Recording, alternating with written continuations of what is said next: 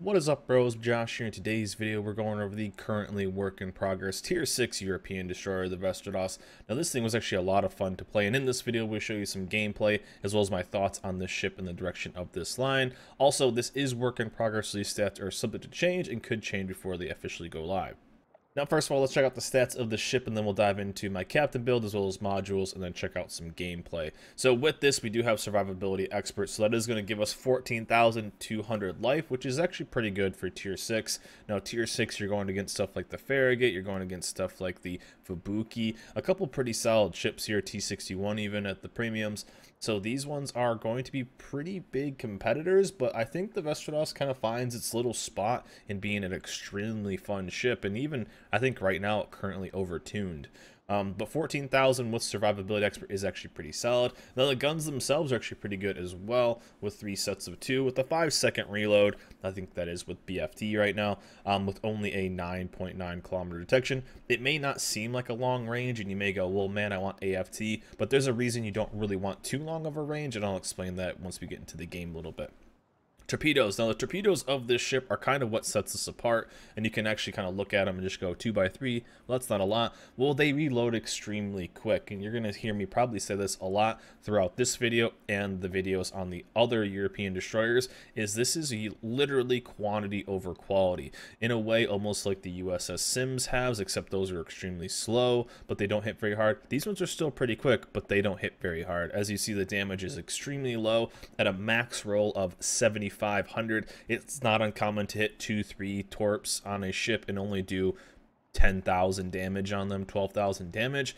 But in tier 6, again, we'll get to that while we play some gameplay, these are still pretty nasty. So this is extremely a quantity over quality, um, as you would see maybe like the IJN long reload, but the torps hit extremely hard. These ones are pretty nasty. So really, really fast reload. They're still pretty quick at 65 knots, which is pretty quick for some slow tier 6 battleships and then 10 kilometers, which is really, really good.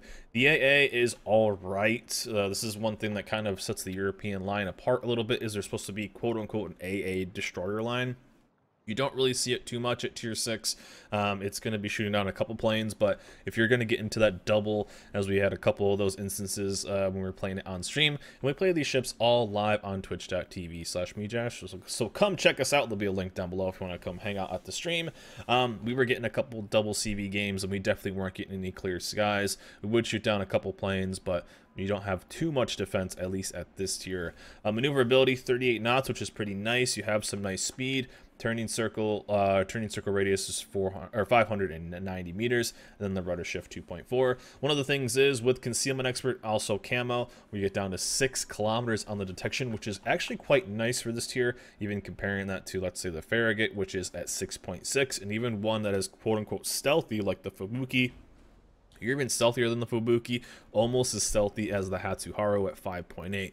Um, so the Västerås definitely does have a spot. It's a lot of fun to play. Now the captain build, and that will affect some of the values. This is what I did run on this. Now one of the downsides of the European destroyers is they are going to require a brand new captain or a special captain. And for some reason, I didn't end up using these. So I'm going to do that right there. Um, but I was only using 17 points apparently. But uh, that's one thing. If you have the Friesland or the Błyskawica, the tier 7 or the tier 9, one for uh, coal and one. I think I think it's for coal right now, and the other one for free XP. The Friesland, definitely a good captain trainer for this. So start getting a captain because you're going to need basically a new one since it is technically a new nation. But I did run priority target, last stand, concealment expert, survivability expert, concealment expert, very basic for almost 99.9% of destroyers. I then did pick up radio location, and I'll kind of explain why this is really important on these DDs, at least in my opinion. And I did go with BFT. Now, uh, you'll see in some of the other videos for the European destroyers, I opted to go for the Torp reload. I'll explain why in this. And then Adrenaline Rush. Also, you honestly could pick up extra marksmanship because the turrets are a little slow. I'm kind of preparing a little bit for the upcoming modules um, because one of the modules will be a tad faster for uh, the, the turning of the turrets. So kind of just setting that up. So easily switch that up. If you like Adrenaline Rush, take that. If you want a little bit of quality of life, take Expert Marksmanship. And then for the modules here, as we'll go over this, um, I did take steering gears. I took aiming system mod 1 to help out with the guns a little bit, propulsion, and then main armament. Nothing too crazy there. And this is one of the reasons why a lot of the stuff I was talking about is low detection speed, all that kind of stuff, um, and especially radio location is you don't have smoke. You literally have um, repair party, which is actually quite, nice. You have engine boost and you have repair. You don't have smoke on this line, so you have to learn to play around that. That's why I think radio location is quite nice. Also why not having too long of a range is quite nice. Let's dive into some gameplay. We'll talk about what I think about this ship, also the line in general. So here we are in game with the Västerås, and I want to kind of go over one of the reasons why I picked BFT over this. Now, um, this is a pretty standard game. I actually really enjoyed playing this ship a lot. It was one I kept going back to to kind of fill in the gaps of playing other work in progress ships. And it's kind of weird because Tier 6, I think, um, is maybe hit and miss for a lot of people. I think there's a lot of fun ships there, um, but I feel like maybe matchmaking is something that kind of pushes people away from it, yada yada. Um, but this one I felt like even uh, when you were bottom tier, it even did pretty good. Um, when I was going against tier 8s, it didn't really affect me too much. But as you see right here, we have kind of a super unique, maybe not destroyer-friendly matchmaking. And this is one of the games I wanted to show. We only have one Torp. I'll even put a screenshot up here uh, that shows a game where we had a lot of battleships. It ended up being a loss, but actually I think that was our first game we even played.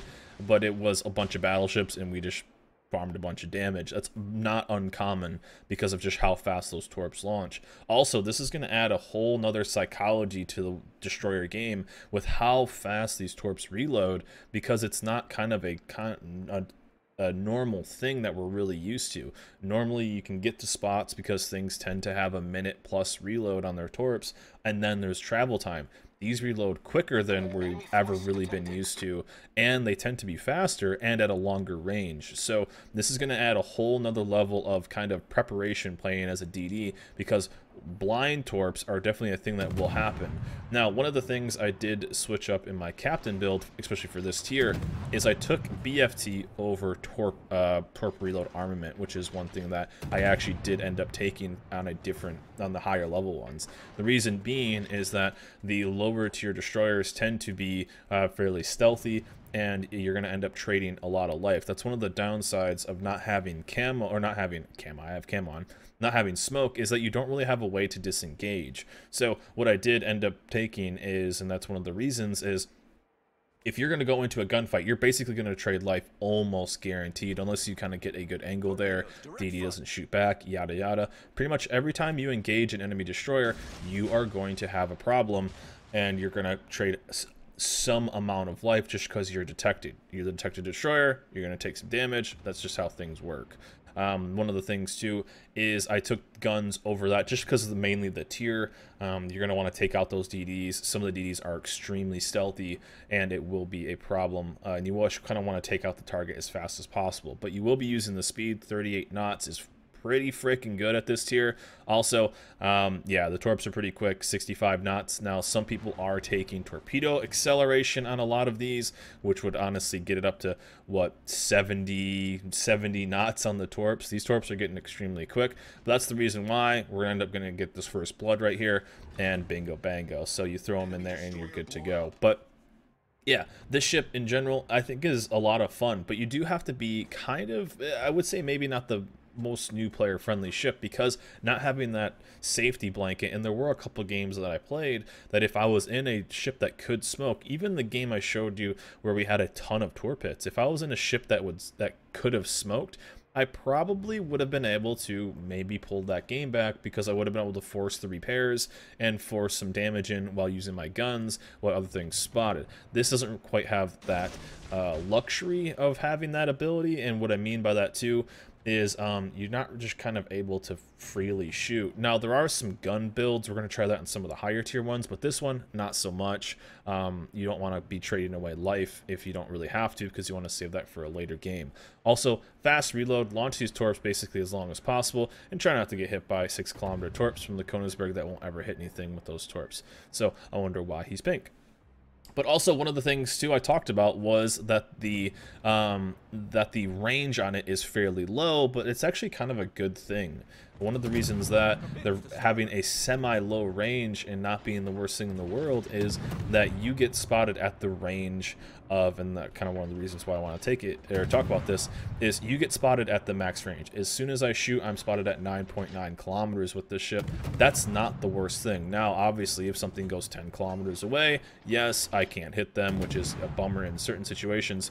But the great situation right here is if that Atlanta would have stayed there and he maybe would have started firing at me and that Moss potentially got killed a little bit faster, he wouldn't have been able to spot me. So having a um, a shorter range on a ship that doesn't have smoke, it allows you to have a couple extra windows or a couple extra options to actually disengage from fight. So it's not the worst thing in the world.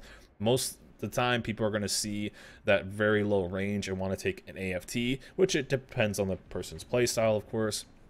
But for me, I thought that the type of damage you will end up doing tends to be pretty close and kind of danger close with its guns, at least at this tier, so much as I played it that having the low range really isn't too bad. Um, also, having the speed and having that to be able to disengage is kind of nice too, but you don't have that safety blanket of having the smoke as other destroyers will, especially something like a Royal Navy smoke, even Pan Asian smoke, where you have that faster reload and you can really use and kind of be a dual purpose ship. In my opinion, this ship tends to be a kind of torp first, guns later because you just don't want to trade off a bunch of life. Now, one of the things too is this playstyle of this ship. It's a little bit different than what I normally do, but I love being a destroyer hunter. You still kind of can, but you are going to be mainly focused on torps. So I would say you're a little bit more reliant on your team than a kind of normal destroyer, but I was able to still go out and be a uh, a gun kind of hybrid. I don't like calling them gunboats. A lot of people do. I would say more of a hybrid ship, and in that I like going out and hunting on other DDs, giving my team the advantage one of the things too, um, this ship and this line has kind of found, I think, uh, overall cool kind of playstyle.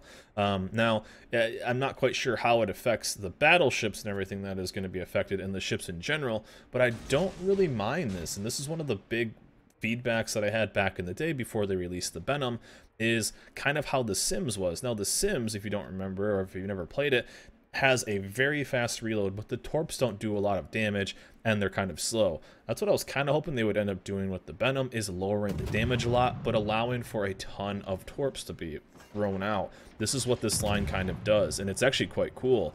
And also, going against fairly strong tier 7s, obviously, the alpha damage on these guns is pretty strong. Um, the guns overall, I think I, I like them perfect example right here is that Atlanta can no longer spot me. If I had an 11 kilometer range there, I would have been spotted. So a perfect example of what I was just talking about is that Atlanta. As soon as I went around the corner, I wasn't detected anymore.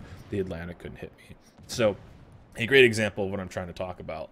But um, yeah, these things have kind of done a, again, I'm going to say this a ton of times, quantity over quality. And that's actually kind of cool. Now, one of the things I'm a little worried about of this ship itself is that uh, this one could potentially be a problem because it's right at tier 6. Now, if you guys don't know how the protective matchmaking works, and I'm not a big fan of seal clubbing, now you can say, me Josh, you don't like seal clubbing, you're playing a tier 6. Yeah, it's a tech tree ship, kind of have to in a way.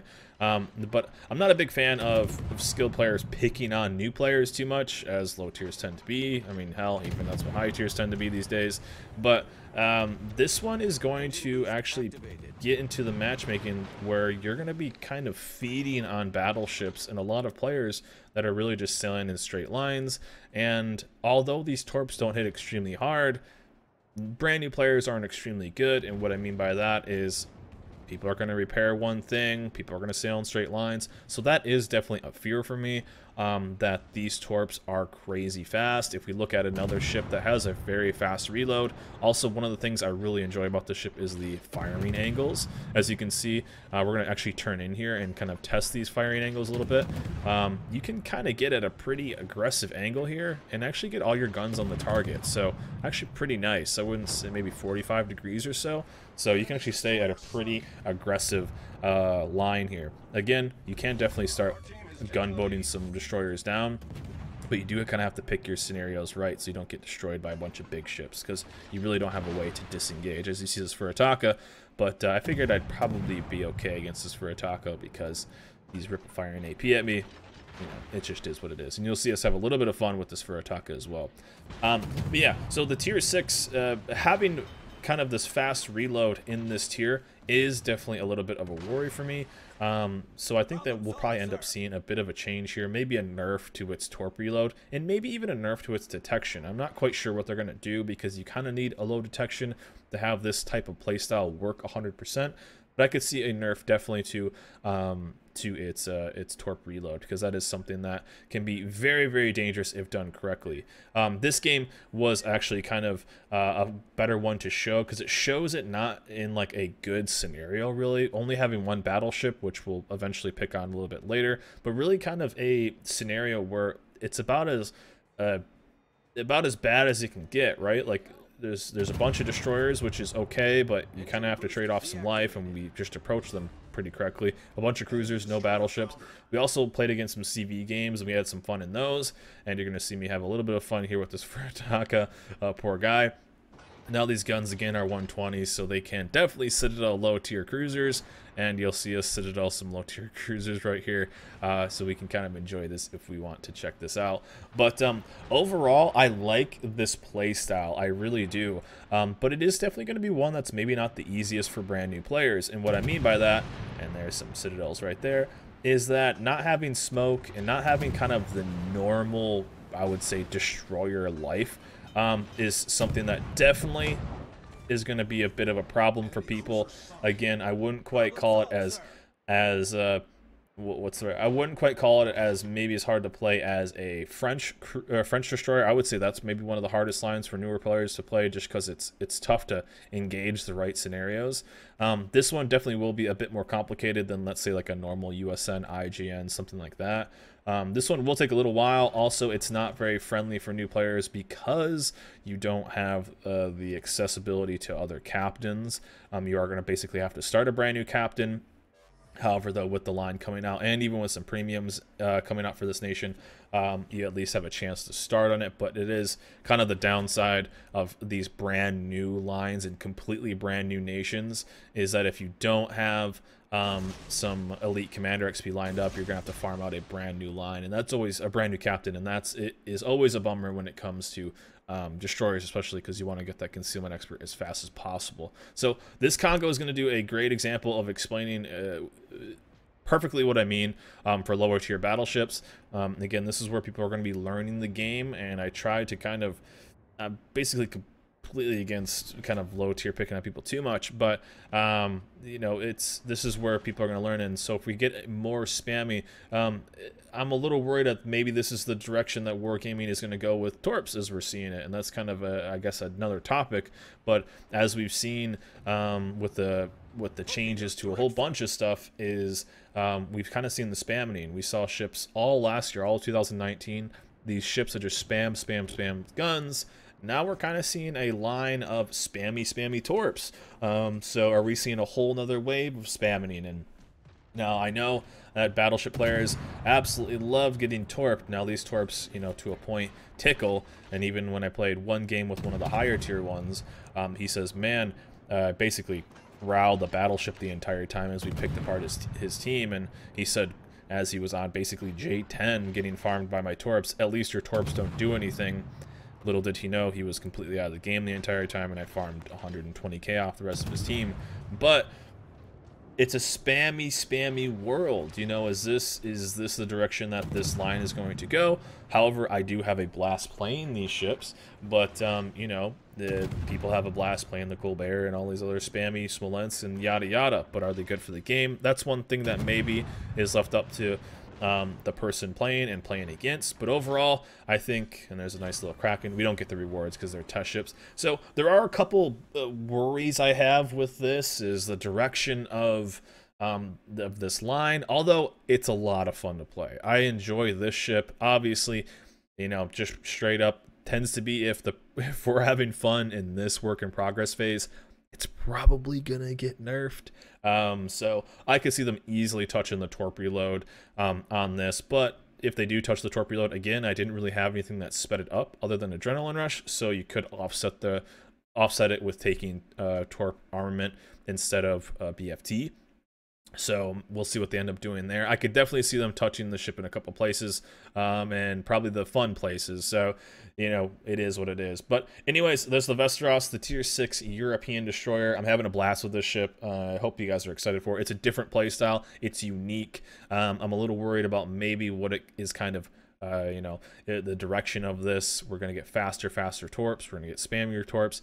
Is that what we really need? Who knows? But overall, I'm having a lot of fun, so at least I'm optimistic as always. But anyways, guys, that's it for me. Hope you guys enjoyed this video. Remember, like, subscribe, and I'll see you guys next time.